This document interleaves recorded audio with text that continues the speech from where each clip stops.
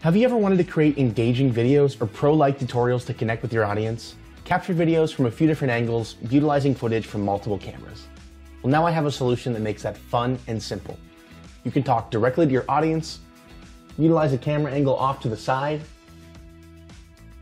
dive into another camera view for showing off some product. You can even jump over to your desktop when you need to show that too. Capturing all of these video streams and syncing them up doesn't have to be a hassle. Making dynamic, eye-catching video is made simple with Corel Multicam Capture. Let's dive in and take a look. When you launch Multicam Capture, it'll automatically detect your webcam and your screen. And if you plug in any external devices, it'll recognize those too.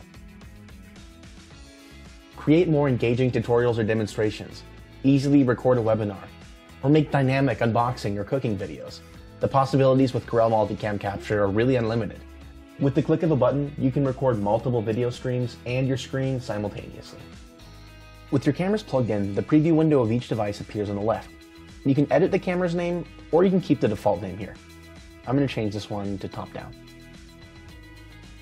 And for your screen, you have the option of selecting whatever monitor you want to record. Now with all these cameras plugged in, you can also control the picture settings. You can go ahead and match the saturation or contrast so that all of your cameras have the same feel for a uniform look across all of your video streams. For each camera, you also have the option to change the audio input. You can use any one of the inputs from each webcam or any external microphones you might have plugged in, like I'm doing here. Now when you're ready, just go ahead and click record on the right here. And after a brief countdown, it'll start capturing all of your streams simultaneously and synchronizing them automatically. When you press stop, it'll generate video files for you and output an MCAM file that you can open up in Pinnacle Studio to easily edit.